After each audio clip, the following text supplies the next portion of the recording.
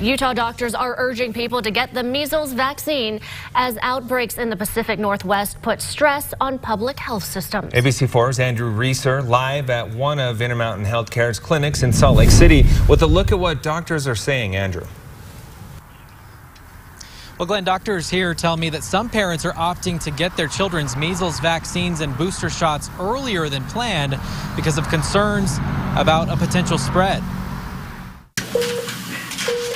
Let's see what's going on here. The concerns stem from outbreaks in the Northwest, namely Washington and Oregon. Wait, let's see how tall you are.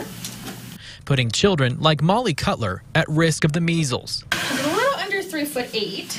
Along with pregnant women and people with compromised immune systems. A recent study shows more people are opting out of vaccinations in Idaho and Utah, adding to those concerns. Utah moms like Chelsea Cutler want to protect their kids. I know that it's it's good for her.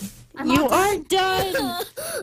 even if it hurts. It's nice that we live in a day and age that we can fight against it. When you have a population that isn't fully vaccinated, um, then you can have outbreaks. Dr. Tamara Sheffield with Intermountain Healthcare says the United States is under 95% vaccinated right now, and that means a pervasive virus like the measles can crop back up, especially in Utah, where the number of people choosing not to vaccinate is growing because of concerns about it causing autism. There is no link between the MMR vaccine and people who develop autism. Both this facility and public health facilities are preparing for an influx of measles patients and an influx of those who want to get protected against the potential spread. We've done two things. One is to make sure that there's plenty of supply of vaccine. We've been preparing our offices to look for the signs of people with um, with the measles rash. And with Molly starting kindergarten soon, Chelsea Cutler's not missing her shot to protect her. It makes me a lot more um,